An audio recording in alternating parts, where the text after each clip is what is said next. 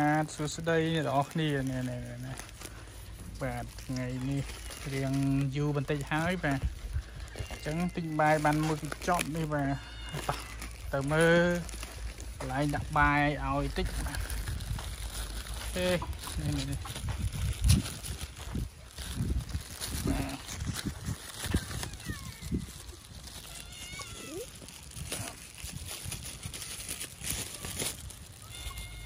នេះបងប្អូនអរគ្នាបាទ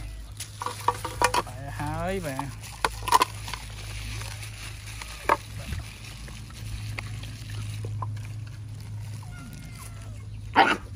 បាទបាទខាងនេះបាទ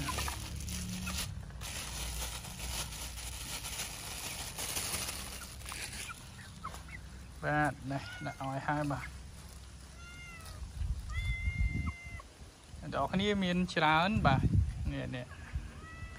ឆ្មា4 5បាទឆ្កែនេះបាទទីជី